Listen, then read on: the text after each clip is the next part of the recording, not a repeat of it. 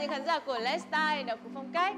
Các bạn thân mến, nếu đam mê của những đấng mày dâu chính là thể thao, là xe hơi, là đồng hồ, vân vân Thì đối với chị em phụ nữ chúng ta làm đẹp chính là một nhiệm vụ và là một niềm đam mê bất tận. Chủ đề của ngày hôm nay chính là một chủ đề dành riêng cho phái đẹp và sẽ có rất nhiều chị em phụ nữ đang quan tâm. Hãy cùng đón xem ở phần sau của chương trình vì ngay bây giờ sẽ là Let's Face, những gương mặt thời trang và phong cách sống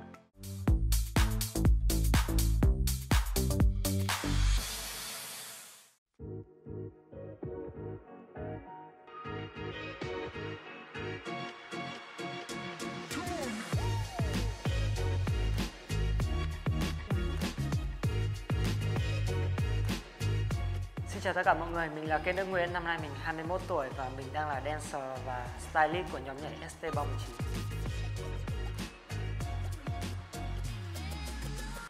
Thời điểm quan tâm đến phong cách ăn mặc của mình thì chắc là khoảng thời gian là mình gia nhập vào gia đình ST39.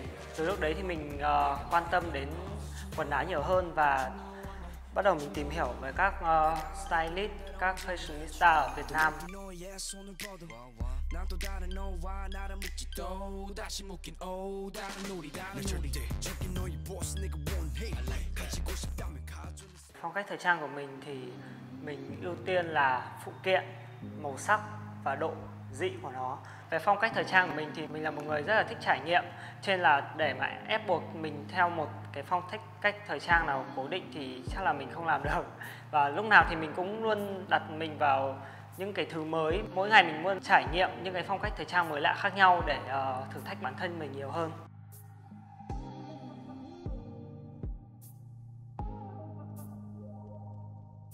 Hiện tại thì mình là một dancer là có thể là những cái lúc đi diễn này mình đứng lớp dạy nhảy này và làm stylist cho một số MV của nhóm nhảy ST49 thì uh, mỗi MV thì yêu cầu một uh, concept và một bộ trang phục riêng cho nên là mình đều xem xét xem là thành viên nào sẽ tham gia và vóc dáng của họ như thế nào để chọn cho họ một bộ trang phục và thể hiện được đúng cái uh, concept ý tưởng mà mình lên và làm thế nào để tôn được đúng dáng người của họ mặc lên nhất.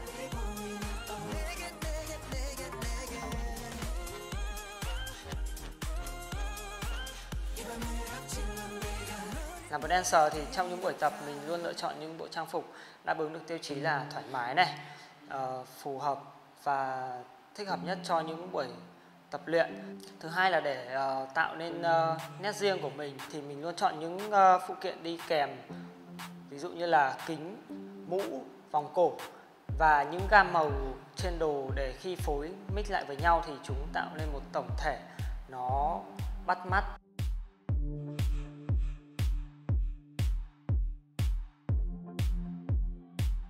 Khi mà khoác một bộ trang phục lên người thì mình không quan tâm đến một thương hiệu cho lắm. Mình lựa, lựa chọn trang phục thì dựa theo cái độ ứng dụng của nó lên người như thế nào trên là kể cả là một uh, trang phục no brand khi mà mặc lên người mà mình cảm thấy phù hợp thoải mái và đáp ứng được cái tiêu chí của mình là độc và lạ thì chắc chắn là mình vẫn sẽ mua.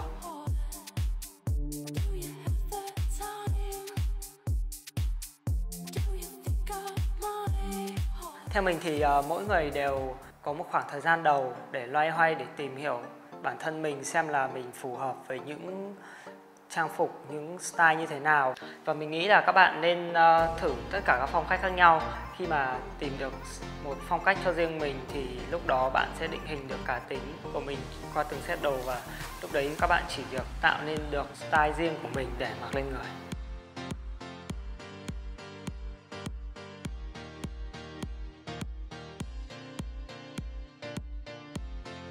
Cảm ơn mọi người đã lắng nghe những chia sẻ của mình và mong mọi người sẽ ủng hộ mình cũng như Esteban 9 trong những dự án sắp tới.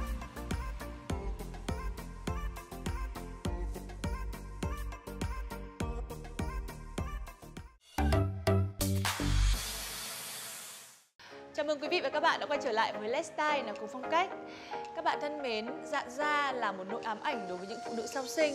Thậm chí họ còn bị trầm cảm vì ở những vết dạn da khiến cho họ bị mất tự tin trong cuộc sống đời thường cũng như cuộc sống sinh hoạt vợ chồng.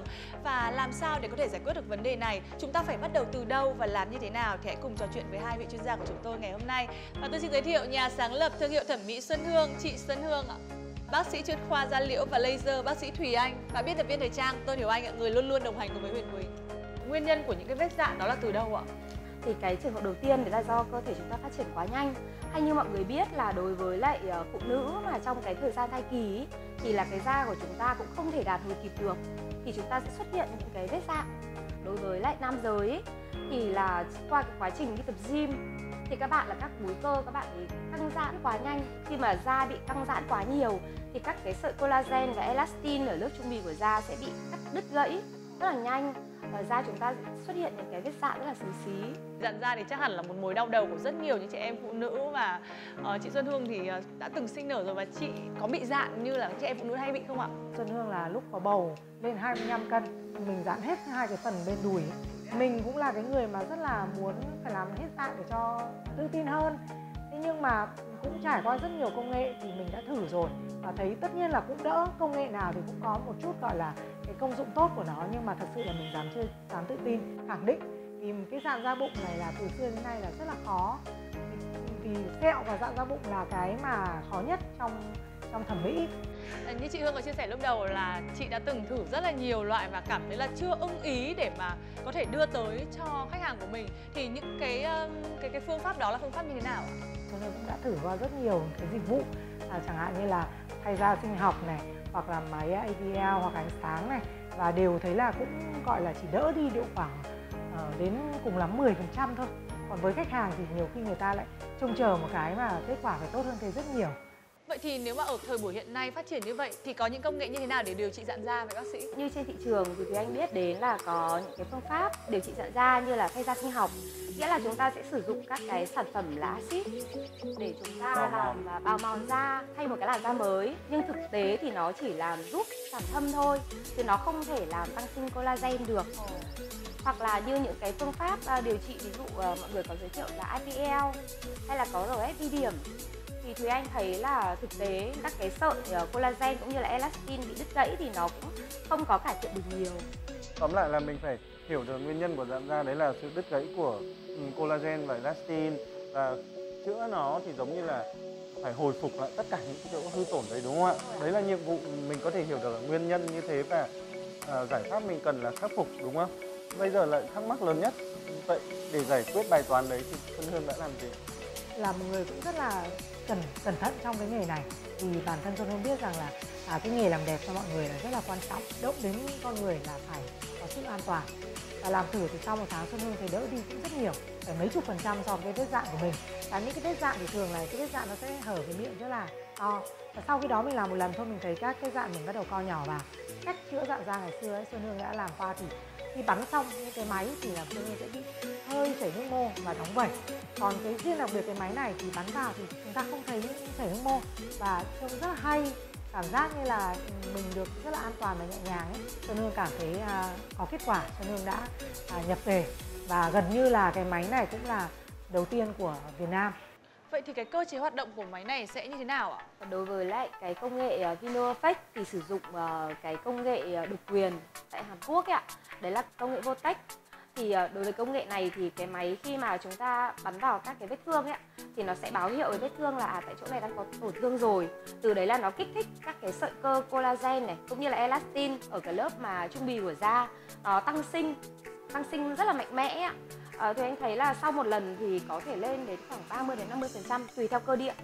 Cái máy này chúng ta hiểu được là nó là sóng từ nó là laser hay là nó là truyền hóa chất hay là cái gì ạ? Cái à, máy Vino Effect ạ thì nó sử dụng công nghệ đấy là cơ năng nghĩa là sử dụng vật lý thôi ạ chứ không có tác dụng nhiệt.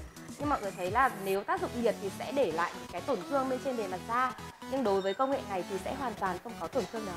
Liệu cái từ cơ năng này và cái máy này có thể dùng được làm rất là nhiều việc đúng không chứ không chỉ đơn giản là mình chỉ nghĩ là chỉ làm chữa dạn da. Dạ đúng rồi ạ. Như là phụ nữ này hoặc là nam giới mà bước qua tuổi 30 ấy, thì chúng ta thấy là da chúng ta bị chảy xệ. Thì đối với cái máy cơ năng ấy, chúng ta đều có thể sử dụng để à, bắn vào các vector. Từ đấy thì giúp là da của chúng ta được săn lên. Hay là như những trường hợp mà mọi người Sẹo. sẹo mụn. Đấy đúng rồi đấy ạ. áp dụng được với cả sẹo lồi và sẹo lõm luôn.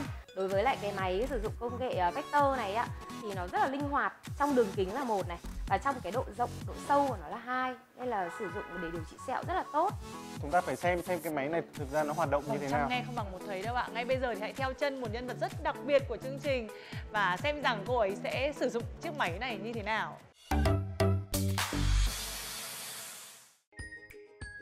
chắc hẳn những người phụ nữ mà đã được may mắn làm thiên chức làm mẹ thì đều à, có à, làm quen được với các cái vết dặn da phải không? Phải nói là chị em phụ nữ khi mà sinh con thì đã hy sinh sắc đẹp của mình, nhan sắc của mình để à, đón chào những tinh thần bé bỏng của mình. Và rất là nhiều các chị cảm thấy là băn khoăn và cảm thấy rằng là uh, hơi một chút buồn với những cái vết dặn da ở bụng. Hằng cũng vậy không hề ngoại lệ với cả các chị. Hằng sinh em bé và tăng cân hơi nhiều chính vì thế là các cái vết dặn da ở bụng cũng tương đối lớn bởi vì là thực ra hàng cũng tìm rất là nhiều các phương pháp để làm thế nào cho các cái vết sẹo cũng như là vết dạn da của mình nó cải thiện một cách đáng kể khi mà được chia sẻ công nghệ Vino Effect thì nó giống như là một cái uh, niềm tin nó được bừng sáng lên ý. Trước khi tiến hành trải nghiệm công nghệ điều trị dạn da Vino Effect, người mẫu Thúy Hằng được làm sạch và gây tê vùng da bụng. Sau đó, các bác sĩ điều trị những vết dạn da bằng công nghệ Vino Effect để đẩy các dưỡng chất xâm nhập sâu vào biểu bì bằng những dòng khí nén xoáy.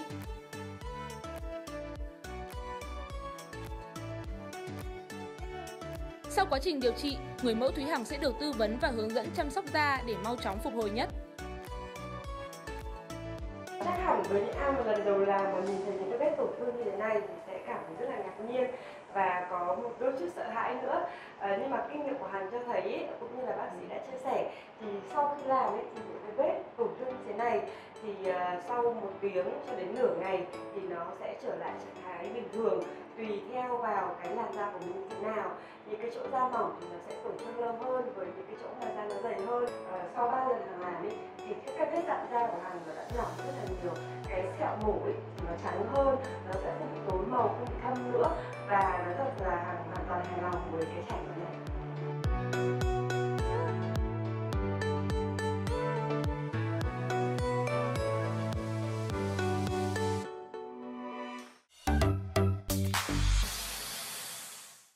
Khi thực hiện cái liệu trình đó thì bây giờ chị Thúy Hằng cảm thấy ờ, những cái vết dạn da của mình như thế nào rồi ạ?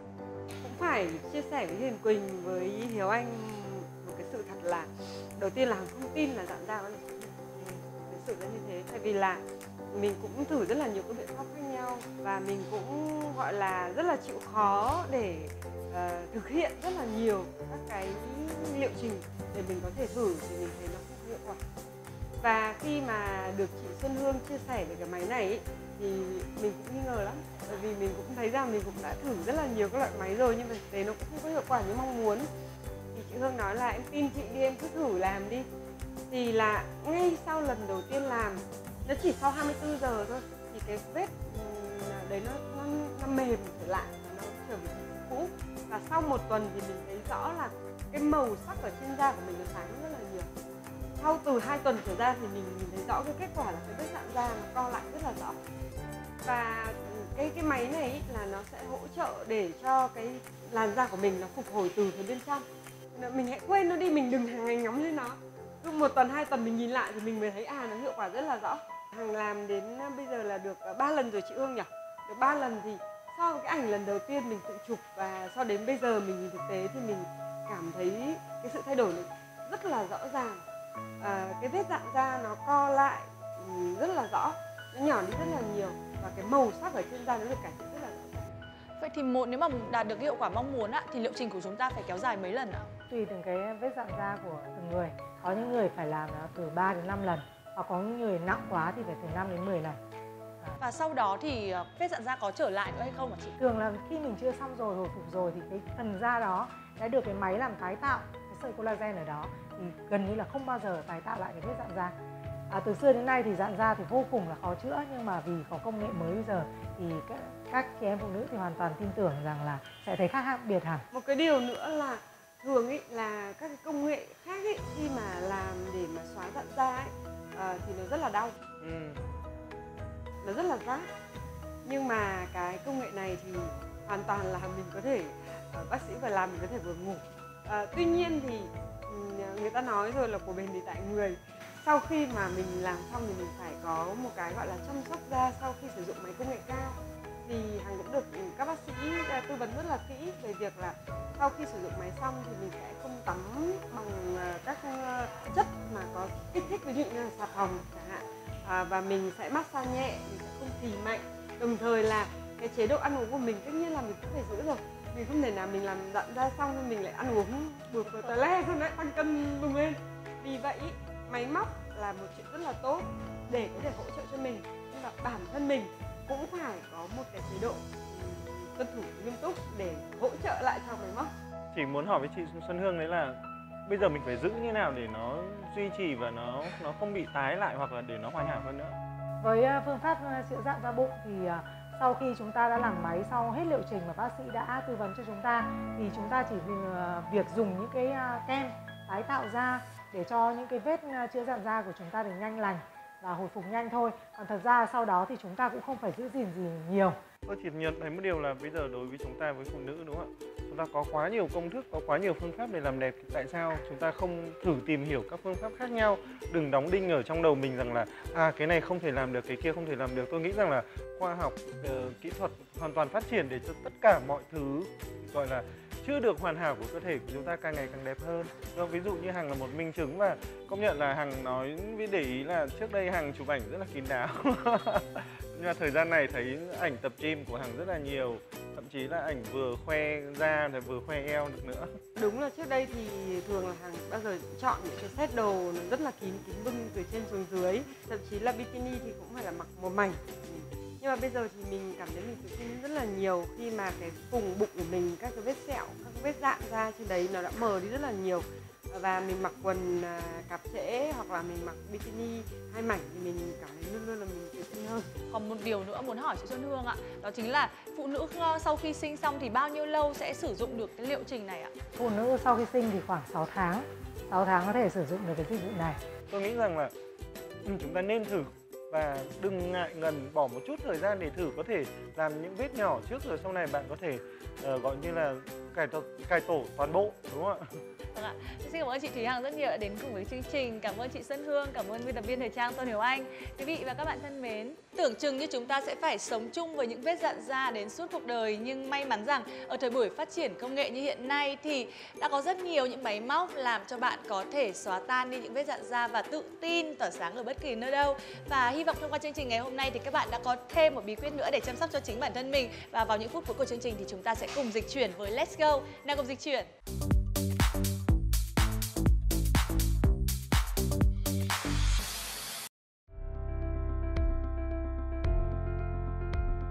Let's go nào cùng dịch chuyển ngày hôm nay sẽ đưa các bạn tới với điểm đến thú vị nào nhỉ?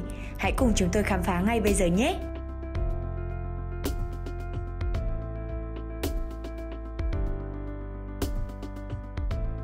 Tiết trời thu đông đẹp nao lòng người sẽ càng ý nghĩa và khó quên hơn nếu bạn ngồi ngắm trời thu, thưởng thức ly cà phê thơm nồng nàn trong một không gian thi vị giữa lòng Hà Nội.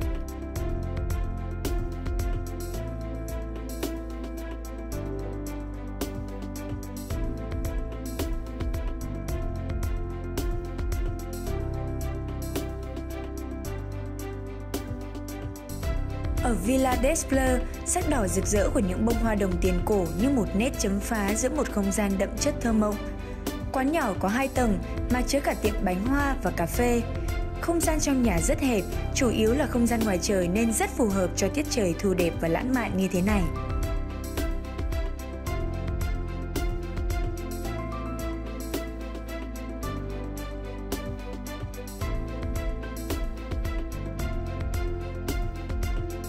Giữa tiết trời cuối thu Hà Nội, bước ra khỏi guồng quay ồn ào, sôi động của cuộc sống để ngồi thư giãn, nhâm nhi tách cà phê trong một không gian ấm áp, lãng mạn như thế này để cảm nhận cuộc sống cũng thật thú vị phải không các bạn?